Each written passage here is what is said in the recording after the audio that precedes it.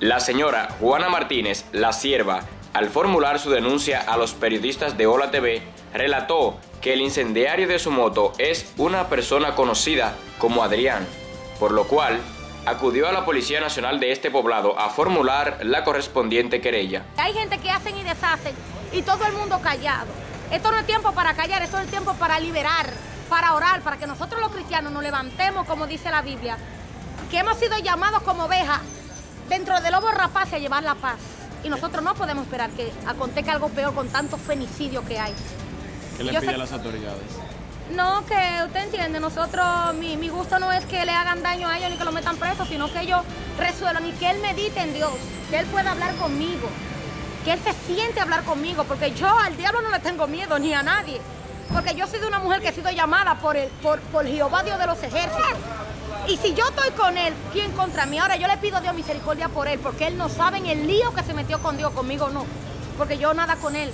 Nada, nada con él en mi corazón tengo. Y desde ahora y desde ya yo lo perdono. Y si él viene y habla conmigo nos ponemos de acuerdo a ver qué él va a hacer con mi motor, porque los problemas lo único que dejan es pérdida. Pérdida, mis hermanos. Busquen de Cristo, arrepiéntanse ahora mientras puedan hacer hallado. Porque el mundo, miren lo que queda. No pensamos mientras estamos bajo el efecto de la, de, la bebida. Pero y después, si hubiese pasado algo peor. Tantos femicidios, tantas muertes que hay, tantas cosas innecesarias, pudiendo hablar y ponernos la mano del Señor para que, para que el diablo no acabe con nuestras vidas. A toda mi gente de ahí, de la, de la piedra, que saben que me conocen, a todas esas personas que, que también me conocen, ustedes saben que ese motorcito nos lo regaló el Señor para hacer la obra misionera. Y nosotros hemos ido a muchos lugares haciendo la obra misionera. Y a mí no me duele tanto eso. A mí, me, a mí yo me gozo en Dios. Porque yo he sido llamada a predicar. Y el diablo, ni Satanás, ni su demonio nos van a detener. Porque siempre vamos a predicar este evangelio. Y vamos a ver la gloria de Dios en todos aquellos que han estado cautivos y hoy son libres, como la Brígida. Que todo el que creía que no iba a haber una persona como ella restaurada en Dios. Mírenlo ahí, mis hermanos. Dios le bendiga. Mi nombre es La Sierva Juana, como todos me conocen aquí.